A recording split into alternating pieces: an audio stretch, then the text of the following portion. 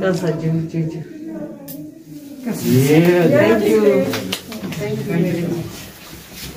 Thank you.